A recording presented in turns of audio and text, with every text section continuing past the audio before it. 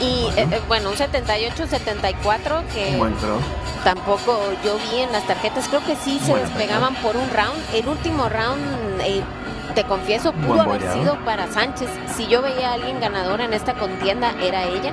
Pero Bien. creo que el empate, pues sí termina por Buen ser un combate. resultado muy digno, teniendo en cuenta que sabemos de la localía de los jueces. A ver, eh, había un 78-74 que ese era para Arlén.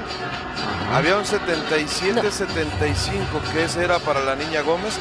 El 77 al 77 es lo que no me bueno. tampoco me, me cuadra mucho.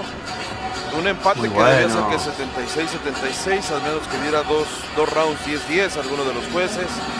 Pero es parte, es parte de lo que sucede. Parejo.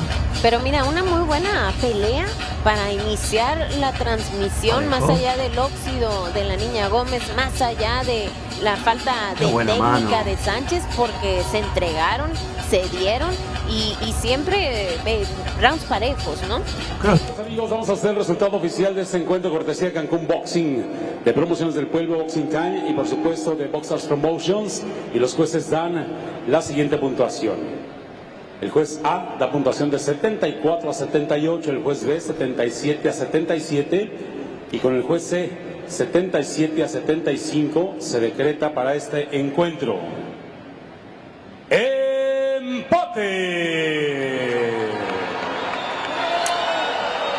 77-77. A ver, no le encuentro la cuadratura del círculo. No está mal el empate, pero no le encuentro a- a- aquí. eh, hay que buscarle tres pies al gato, Mariale, porque esas tarjetas estaban, pero para todos lados, menos para donde esperábamos.